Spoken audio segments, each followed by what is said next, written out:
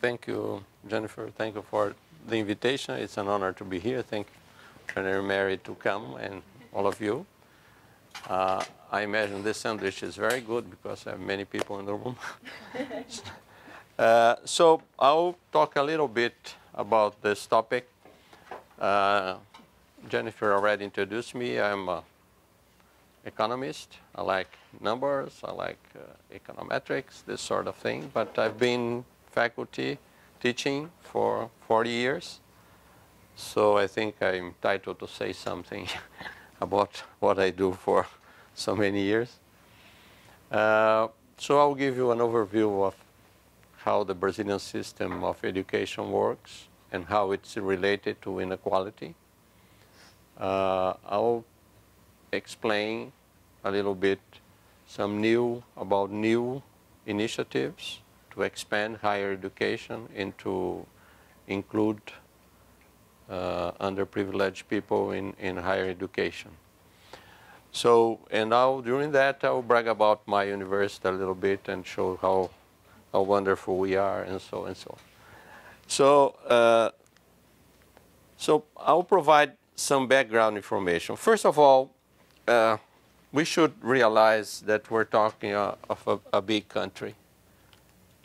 Uh, big in, in size, I mean, I lost it. Oh. No, this is a map I found in the internet comparing Brazil and the US. As a matter of fact, the, the land uh, surface of Brazil is larger than the, um, the lower 49 states, 48, I don't know. But it is, it's more north-south. If you put together, you have more US in west and east, and then the north-south uh, direction, Brazil is larger. Why do I show this? Because, well, we are talking about a large country and uh, lots of difference, geographic differences, weather differences. Part of the country is in the northern hemisphere, part in the tropical area, and we have like 10% of the land in the uh, subtropical area with occasionally small snow in the mountains. So lots of difference, difference in, in the occupation, the people that live there. In the south, we have more European-related uh, population. In the north, more in local indigenous population. Now it's all mixed up, but uh, and Brazil is only 50% white. The other 50% is what you call non-white. And we have all, all colors in the population because uh, since the beginning they start mixing up and, and it's, it's a mess when you have to do, as I did some of inequality studies uh, related to race because you never know. Uh, we have a famous case of this huge, he was huge playing soccer soccer, and now he's huge because he got so fat. Ronaldo, and uh, he's obviously black. And they were discussing one discrimination situation. He said, "Well, if I were black, I would be sorry or something, but uh, he has all the the biological things. Anyway, so this is so to you to, to have an understanding. We have almost 200 million uh, population, very high inequality, very, very high inequality, income inequality. Uh, this is the a map of the country. This is São Paulo state, right on the uh, Capricorn line. And this is the equator line, and these are our neighbors. Uruguay, Argentina, Chile, etc. Uh, you see that most of the income is concentrated here, but here we still have 25% of population. This is the Amazon region. We have around 8% of population there, and here is the Midwest, our Brazilian savanna, where in the last 40 years agriculture uh, expanded to and uh, it's very productive nowadays and competitive, etc., and they received lots of population. Uh, this is some information. The first, first one is population density. You can see that they are located in, in the coast of the northeast region and typically here in the wealthiest part of the country. This is per capita GDP, and it's also concentrated here. Manufacturing and service production, and this is education.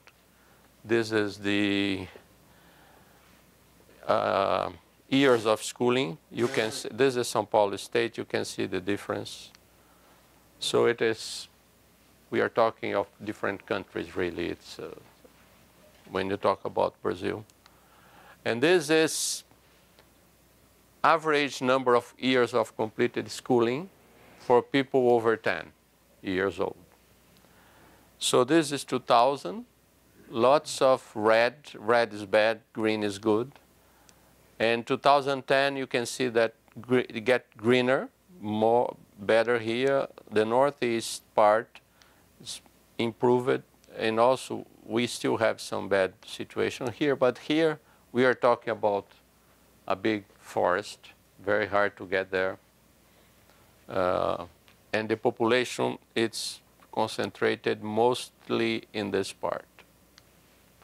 So uh, uh, east. So we are observing noticeable improvements in education. Nowadays, almost all kid are, kids are in school. Uh, we, we still have a lot to improve in terms of quality, but now we are putting, at least we're putting almost every kid in school. And more data will show. When you go to universities, then you can see that's very low, only 13% of population.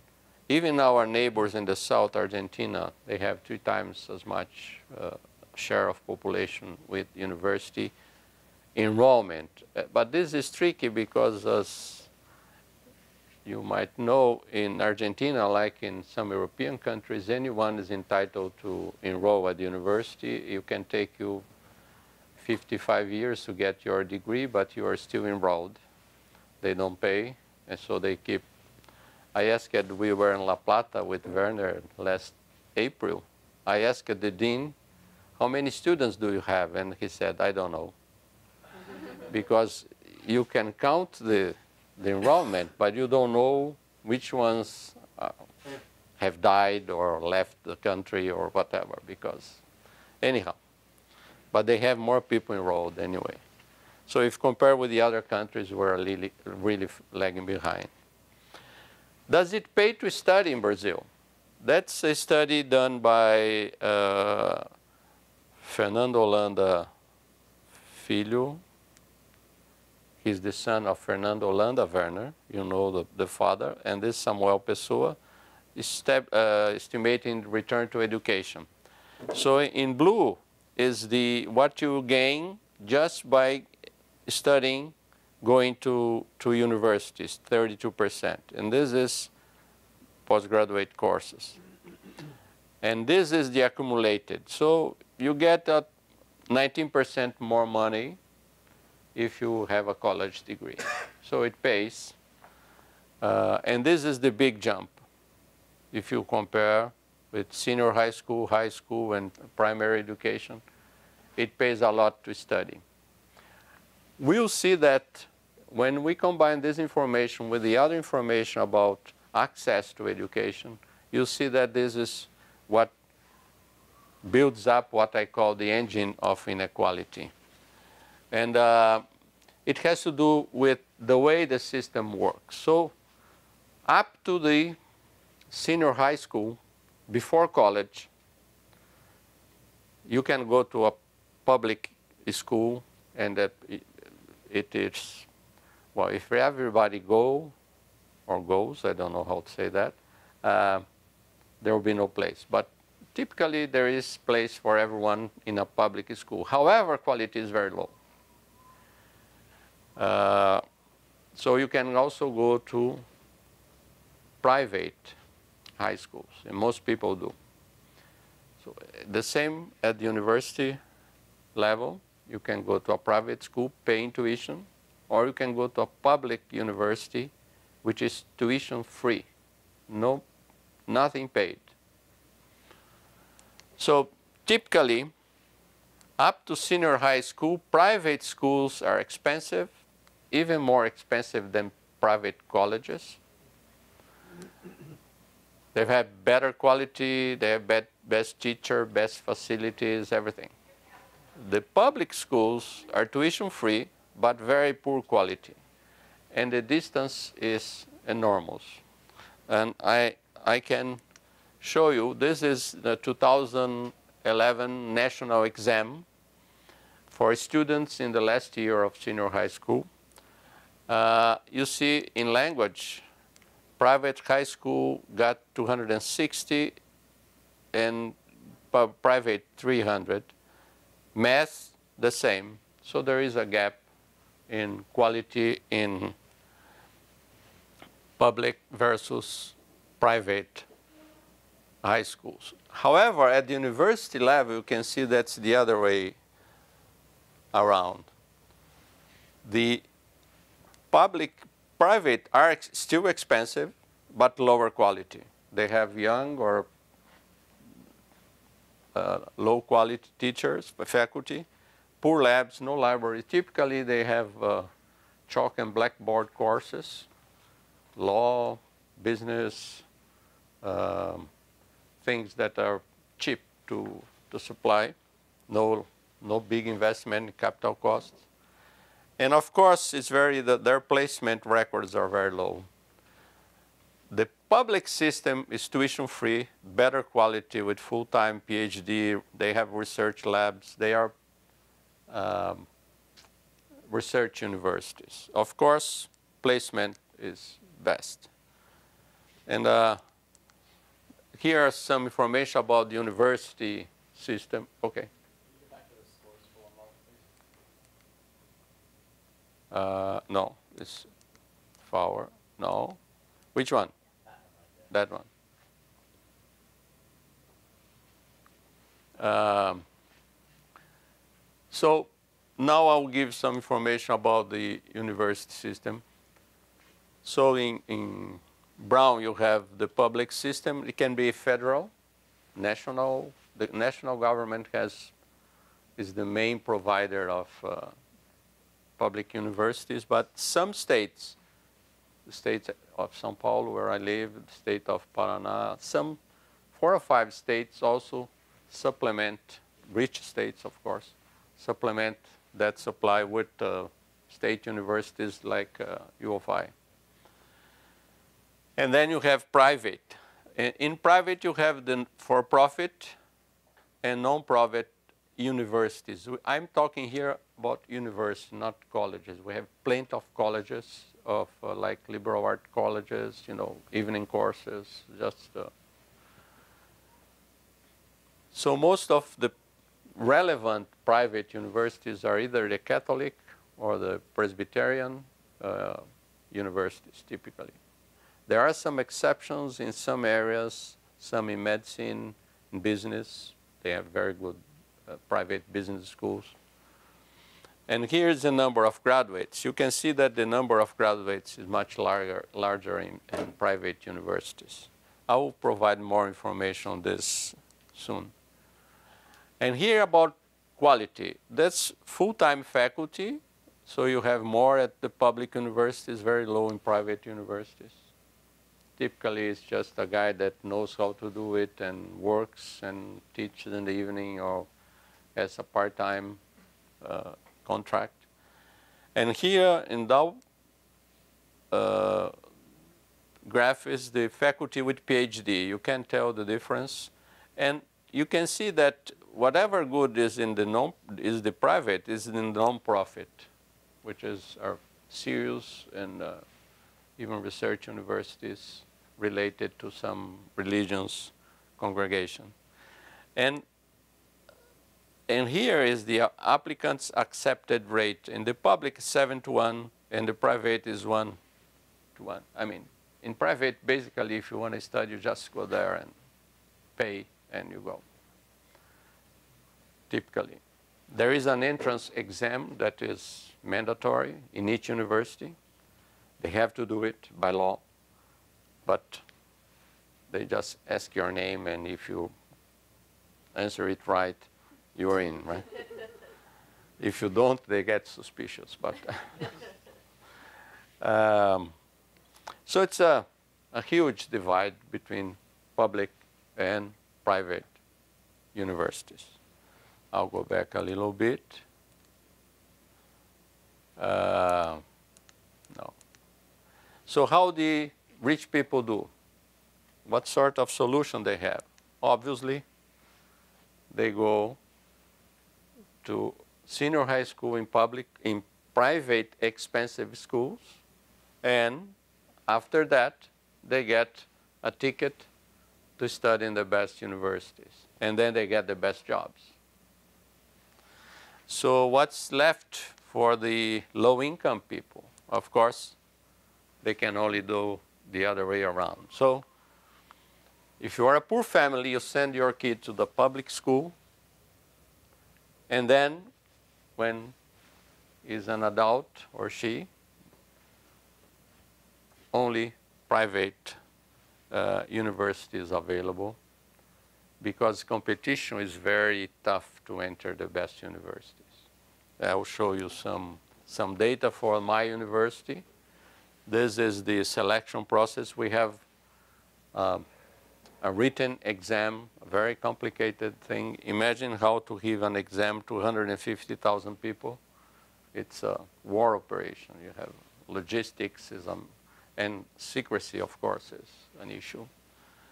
Um, so every year, around 600,000 people finish high school, so they could try and attend. But already, three-fourths of, of those they decide they cannot make it. So they already give up. So these brave guys take it, and we have two phases, and then we only take around 10,000.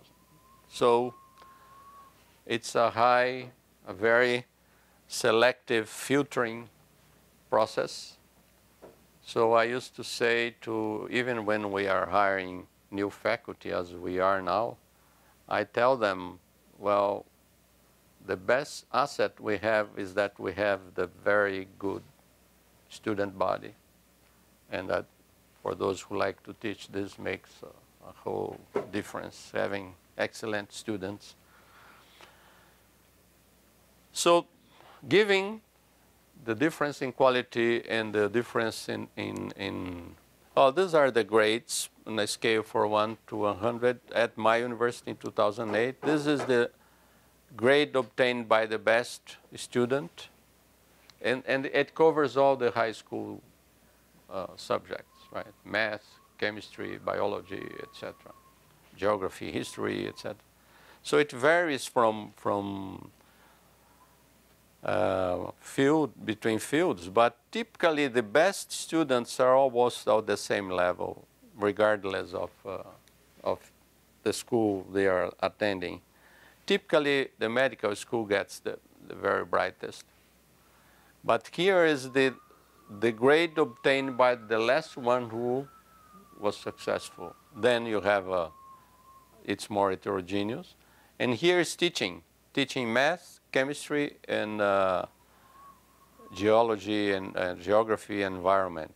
So then you start having uh, bad students well, bad among the, the ones that took the exam. Already there, there, self, there was a self-selection there. But enrollment is growing in the system. Are you making a question? No. Okay. Enrollment is growing fast. This is 2000 and recently even faster here. But still as I mentioned, the first slide is, is very low. Uh, and it's growing fast, and this is private. You know, these guys spot an opportunity there, and there are government programs that are helping them. I'll, I'll talk about them.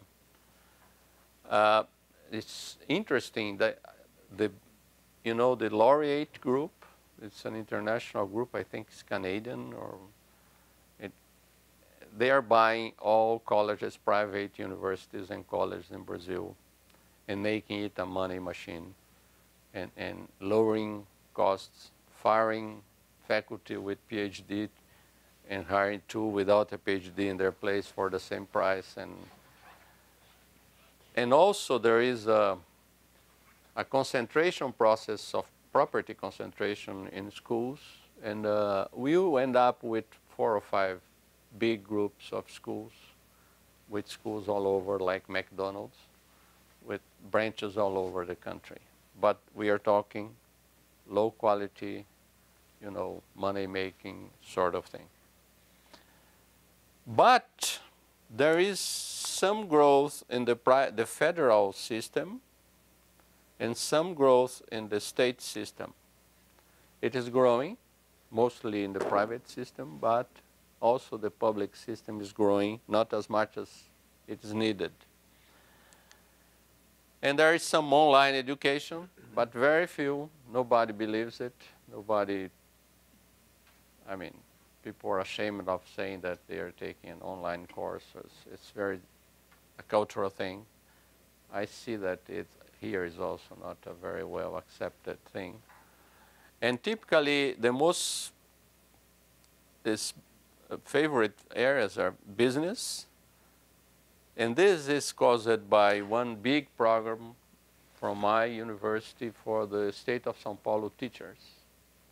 So it is not an open program. It's every each and every one of the Sao Paulo state teachers, and I think they are 600,000, I don't know how many.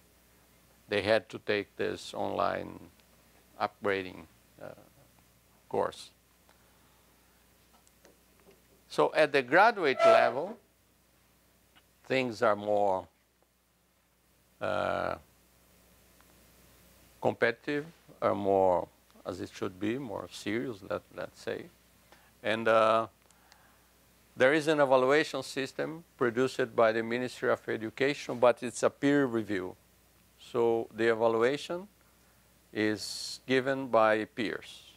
They get, they select a committee let's say in education, they get 12 faculty, well-respected senior faculty from, from the best universities, and they get together. There is a part that's just objective, counting points of production, how many papers, how many books, how many students, how many, and then there is an assessment of quality at the end.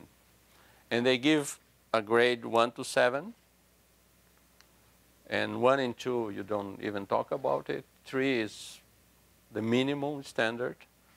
And five is, uh, if you are only have a master program, and we have lots of masters in Brazil, it's still important, then you get a maximum of five. And the five is what you get from the objective accounting of your points. Then six and seven are given on a more qualitative basis, and the seven is what the committee understands you are at the level of the international average on that field. Okay, this is the distribution. So we have here, this is grade four. We have two-thirds of our programs that are four or less, and one-third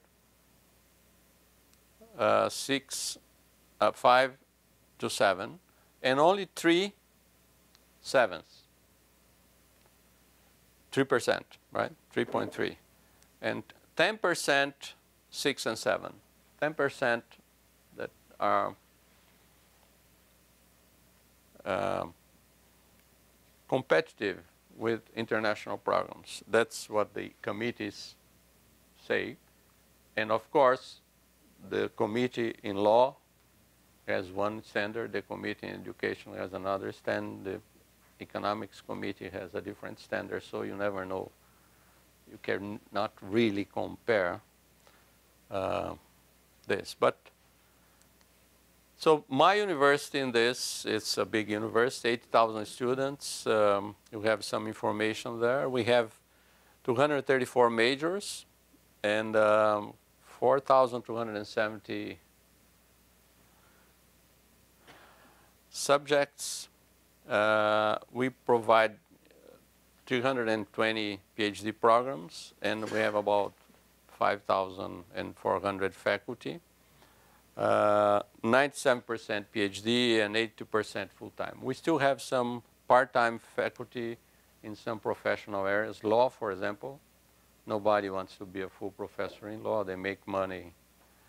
They have the, the CEO of the university. They make money consulting and some, the same in, in some professional fields like architecture or economics, business. And we have evening courses. By law, we are required to teach evening courses undergraduate level. Oops. And uh, of those grade seven programs, the University of São Paulo has 20% of, of them. Uh, and I just want to point out that the 2011 really Shanghai Academy Ranking uh, we rank at 244, best in, that includes Spain, Portugal, and Mexico, and, and of course first in Brazil. Talking about uh, concentration, you saw the maps. The only five Brazilian universities that are in, the, in this ranking are either São Paulo or the Minas Gerais or Rio or Rio Grande do Sul. They are all in the rich part of the country which tells you about uh, concentration. And we, we account for 25% of all science produced in Brazil. So it is. Okay, just I made my advertisement as I was required to by my boss. Uh, now I'll talk about the, some programs about increasing access to university. So we all know, and it is well recognized in the country, that this engine of inequality is there and it's causing, it's probably behind the fact that Brazil has one of the highest inequality indexes in the world in terms of income. So there are some recent programs. That's student credit, student loans program. It's, it's, it's there.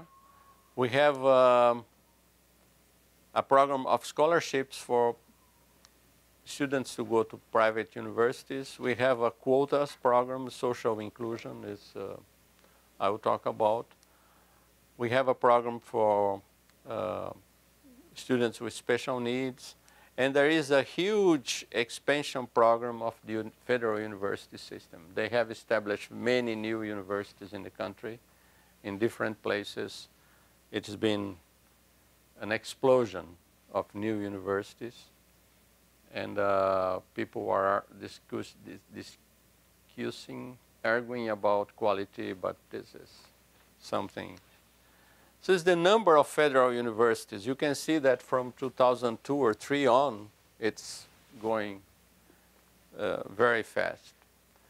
By the way, federal universities are among the best, as I showed before. It's the public is in the good side, right? There is a discussion about the, the quality of these new ones because they are hiring whatever they can. And of course, you cannot generate new candidates in a very short period of time. So you have to select from whatever is available.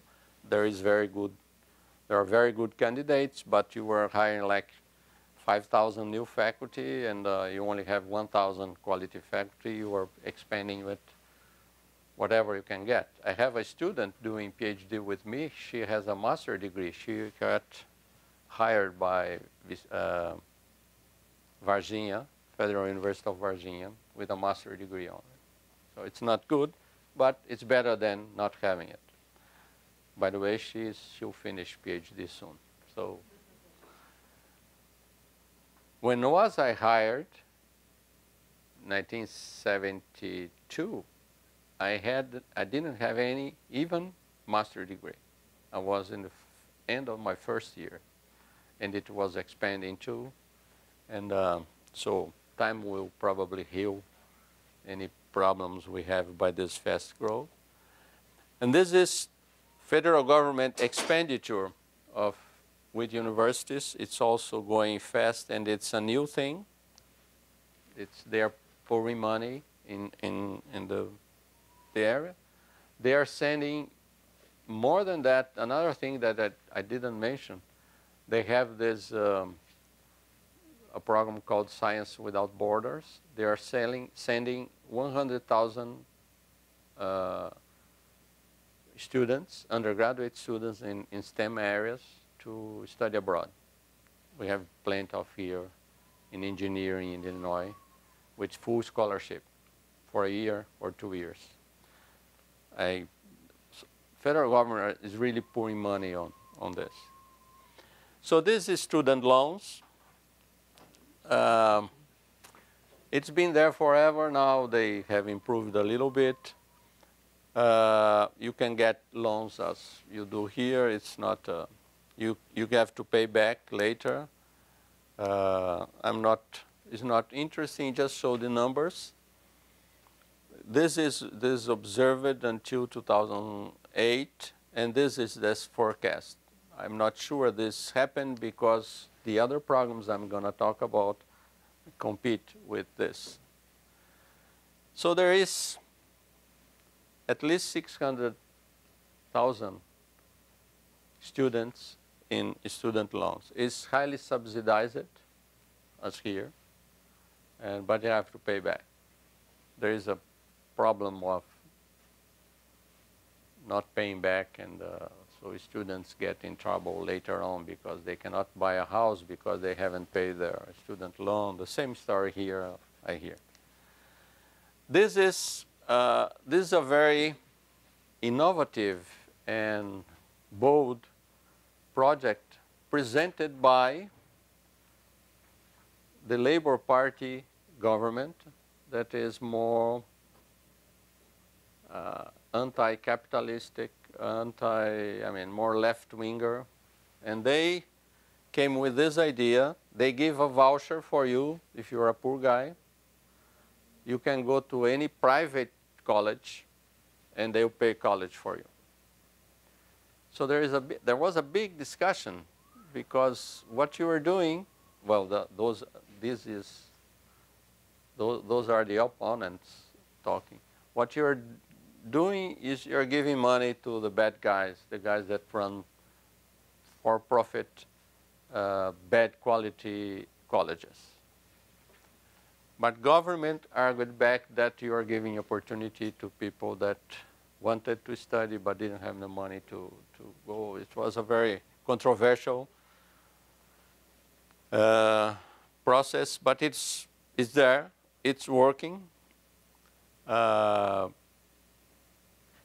there are rules, but this is a way government sought to, to, to boost the supply of uh, opportunities to poor people. They are expanding their, their own supply in federal universities, but they are using the idle capacity in the private uh, university system with different uh, quality even, even the state universities like mine expanded. We expanded 10% uh, the number of uh, places. And this is the number of scholarships. We're talking 250,000. 2009 is probably around 400,000 nowadays. It's growing. And um, there is a very another controversial one, uh, as it is here, is about uh, what do you call? It's not equal opportunity. How? Affirmative. Affirmative action sort of program. So this October, it, the new law was sanctioned by the president, So now it's the law. 50% of new students in federal universities, they cannot rule for state universities, will come from students who took high school in private, uh, in public uh, institutions, the, the bad ones, as I mentioned before.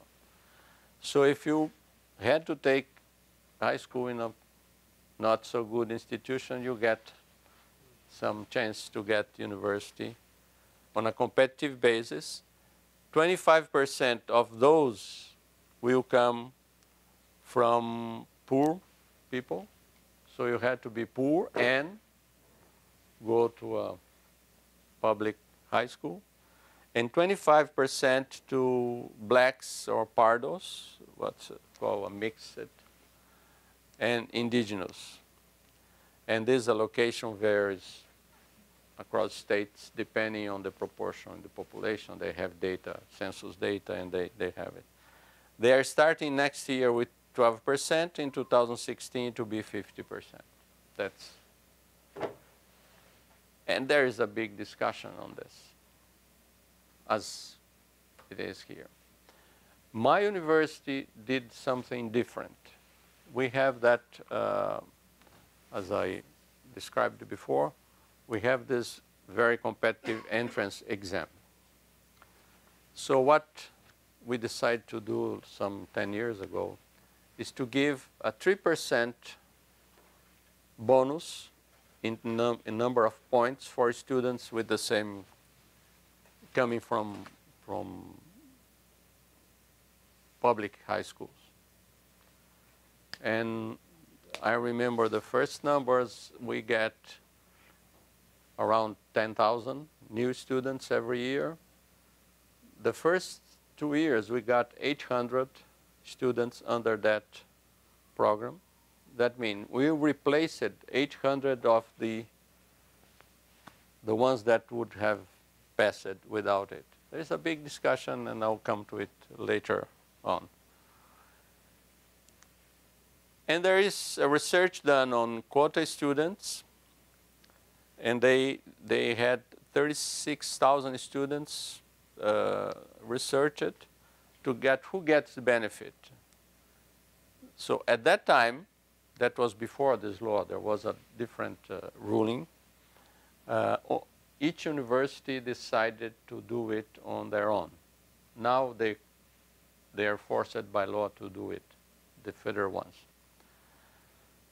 So 70 was public schools, 25 ethnic groups, and then low income, and, and so um, so these student loans, I, I already mentioned, and there, there are some, some studies on performance. In, in my university, those 3% of points got 800 students that would, not, would never be there without the, the bonus. So we follow their performance. It turns out that they are better they are around the average performance. Some are very in the top. I mean, they, they replicate the student body. They cannot pass the exam because they have lower preparation.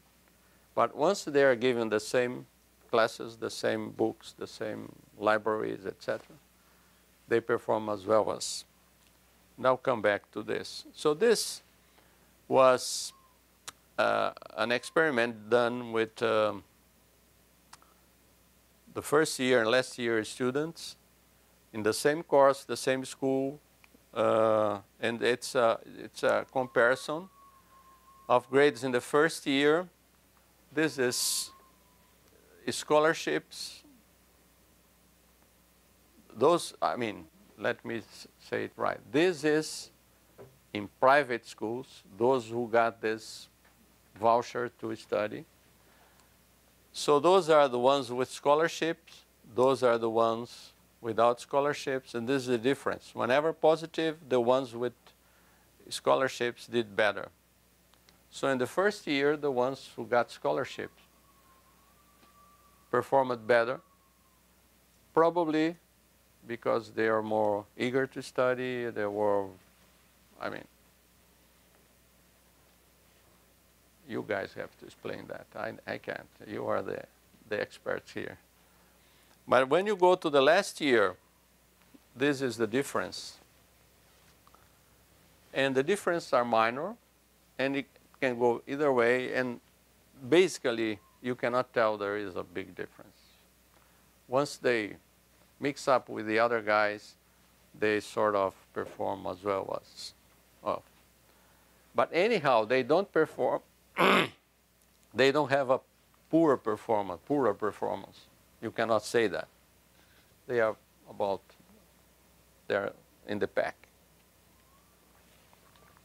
So you, we are not losing much in terms of quality by using this. That's, that's the idea. Because in my university, for example, there was a huge discussion in, because we are up-nosed because we, because we are the best in the country and so and so, you know. Um, so we didn't want to do it. So our role is to train the elite and, you know, the sort of talking that uh, you can get in faculty meetings. And um, so finally, it, it passed. We, we voted in the University Senate, it passed. But the, and everyone would say, okay, we know we are doing something as a social program. We are not, this is not education. We are losing in the education side by accepting these people. Now everyone is convinced otherwise because we have research on that. And, uh, and, and why is, how can we explain this and this, that, and now we'll end here. Imagine this is the distribution of personal skills, and this is for the rich people and this is for poor people.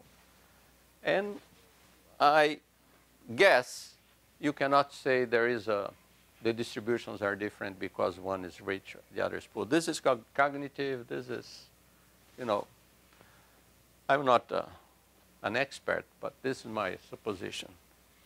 So you have very few people with very high personal skills and the majority of people have lower skills, the same here. So they are comparable. But the poor guys, they start from below because they didn't go to good university, they didn't have good food, they didn't have good books, etc., etc., etc. So there is a gap that's not related to personal attributes, it's related to social attributes. So you are giving, you are putting these guys replacing these guys. You are putting poor people in this pack and taking these guys are replacing this. And uh, we are taking just the same amount of, of people. So is there a gain or a loss? Well, provided that you are taking the very best in this pack and putting there, you are replacing students with lower performance. So you're not losing in terms of academic uh, performance up to a point. Which, uh, which one, I don't know. It's a matter of uh, empirical matter. But typically, this is what we observe in our university with our minor change. We are talking about 5 7% of the student body that we are substituting. So it might not be a, a better thing. And then there is the discussion, this is the last thing. It's very hard to change this. The students, in, especially parents in Brazil, believe that if you pass the entrance exam, you got a right. And your rights should be respected. And you have a right to get free education, good education, because you're good. And government should provide you that. So it's the citizen right. Uh, well, maybe we should use a lottery and not, uh, so it's just a right. If it is democratic, should be random. right?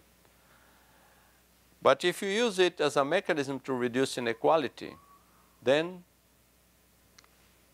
this is part of what is being done in Brazil right now. You are using education to reduce poverty. Then you need some sort of uh, a different ways of selecting it. And then who should pay for it varies in different situations. But if in, in my state, and this is a good thing of working for my university because I read here and see on TV that U of I goes to Peoria to discuss budget every year with the legislators. We don't have to. It's in the state constitution that we have a cut, fixed cut of total revenue of the state. They cannot touch it. So we only pray that the economy goes well so that we get more money and then we do whatever uh, we want with the money under the law. But why is that the, the my state society puts this money aside to, to educate these people? Of course, it's not as a citizen right point of view. It's an investment in the future of the state. So we, they are putting money to get a return when these students are graduate. They, they get, well, they, they have innovations, they are good businessmen, they are improve the efficiency and productivity of the country. So there is a payback. That's why we are investing this money. If that's the case, it should be selective, but based on the potential future contribution to that goal. And that for sure is not obtained by grades in the entrance exam. The grades only show what, what, which are the, the best students to take tests. I once was a dean. I had, uh, I used to have lunch with the 40 best students in the entrance exam in my college, 10 in each uh, department. And I can tell you, half of them will not succeed in life because they are just, you know, they can, they can, they get good grades. They cannot talk. They cannot interact. They don't have the other skills needed to, to excel and, and provide whatever society need, needs back from them. So this is a different world. So entrance exam doesn't do the job. We need to think about other things. Who are the ones who will benefit the most? And then we are not talking about a right. So it's like a, a, a, a drafting system that you, you had for, for for Army. You pick the ones with the largest potential contribution to the development of the country. So it's, it's a duty, it's not a, a right. So this is the, I'll, I'll finish here. This is the situation we have in Brazil. We have this high inequality. We have the educational system pumping up more inequality every year. There are changes now. Changes are very disputable. But the funny thing is that the, the, the stakeholders, the, one, the, the, the ones that oppose the most, for instance, introducing tuition so that rich people could pay for public education and then subsidize poor people, those are the left-wingers the ones that should think about it and imagine that their constituency would be better off in that way. But this isn't a no starter. If they start talking about imposing tuition, there will be a full strike and uh, uh, invasions and so and so. So the left wing is very keen of letting things democratic. In doing that, they are entitling the upper middle income class to get their places and reproduce inequality. there are changes. Changes are in the right direction. Too small, given the size of the problem. But I think we are more optimistic these days than we were like 20 years ago. Thank you.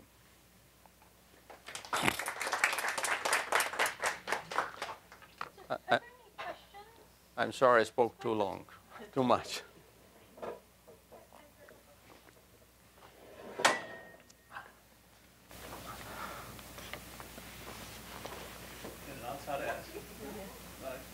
I'd like to least, uh, I mean, you saw in you read, a tremendous expansion of the private sector, private universities, which I think is a monstrosity that I've seen.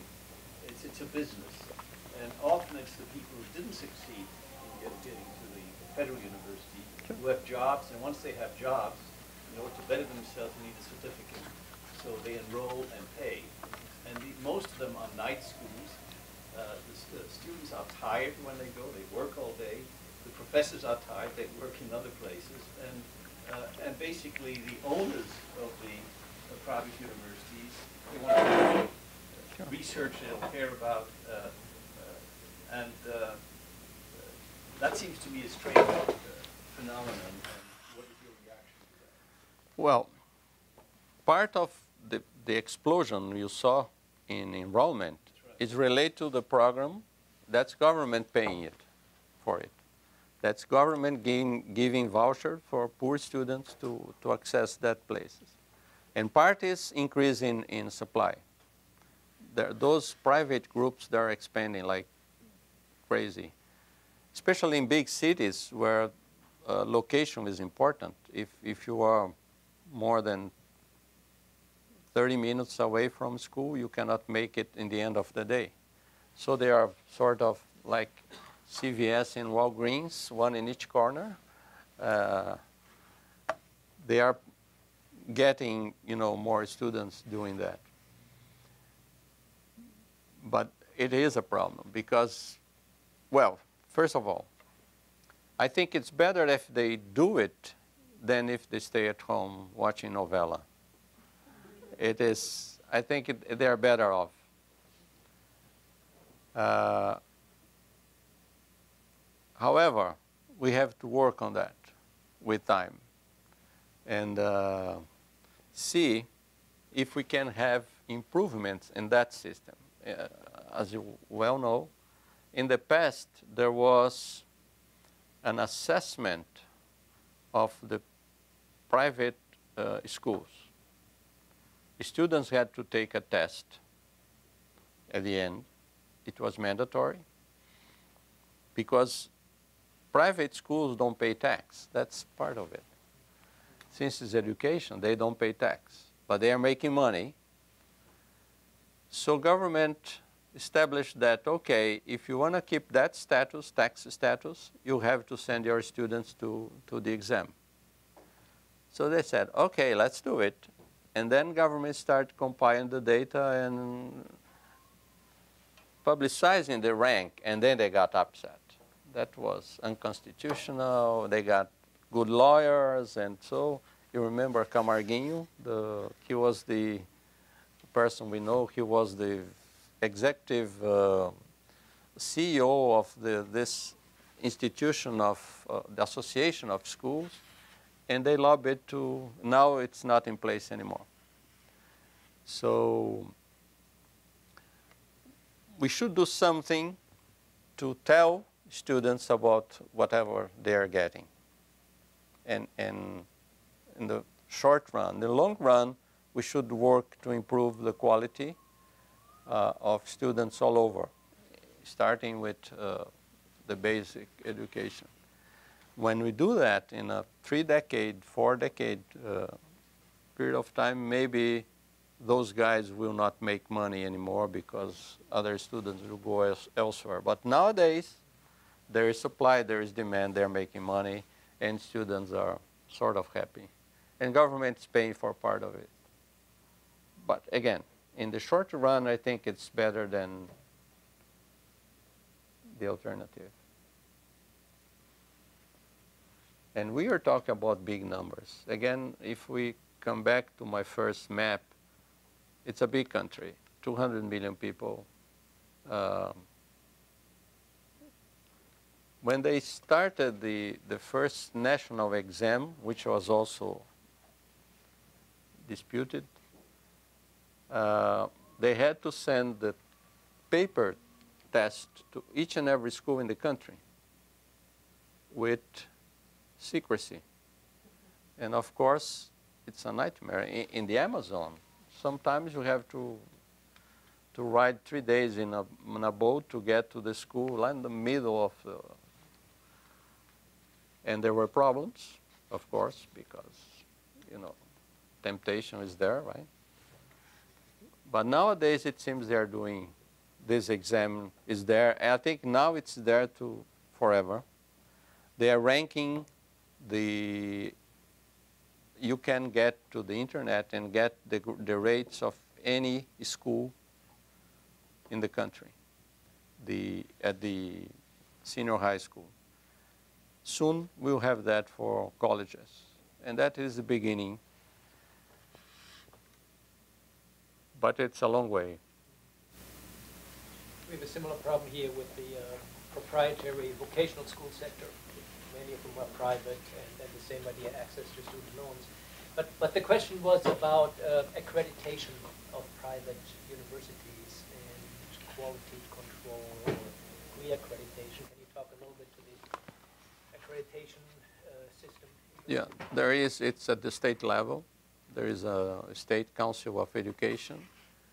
And even, even the University of Sao Paulo, uh, each department every three years has, has to show the, some records uh, there are some forms, etc.